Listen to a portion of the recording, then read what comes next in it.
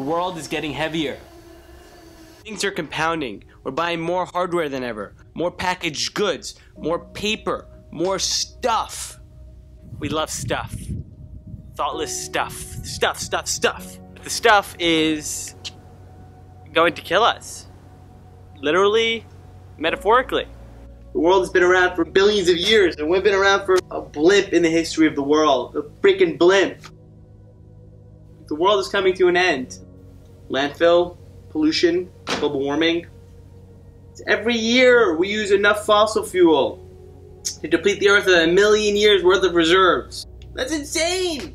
We're completely polluting the planet! It's irresponsible and selfish of us to keep acting the way we are acting. We, we have this, this dilemma, right?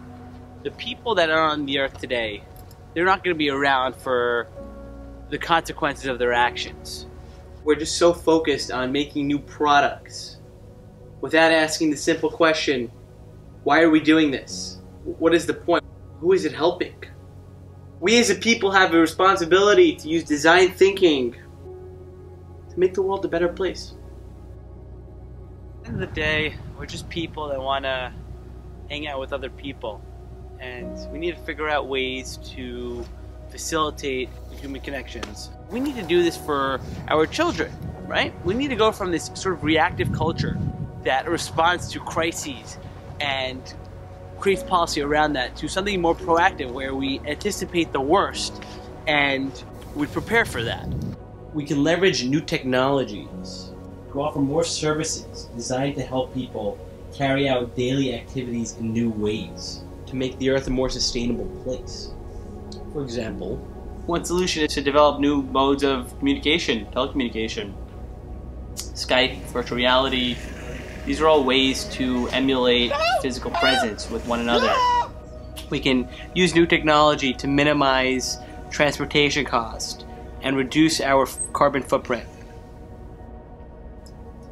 Well, the issue is that people don't have enough discipline to mitigate their dependence on technology. You have a whole generation of people that are dependent on this glowing screen in order to get fulfillment. And what happens is that we have an epidemic of people that are not present, they're not aware, they're not mindful. Their whole life is fragmented into a series of apps. That's not sustainable nor ideal. But we don't think about it because technology moves so quickly. People just build things without thinking about the implications of their creations. We need to revert back to fundamentals. We need to focus on human connection.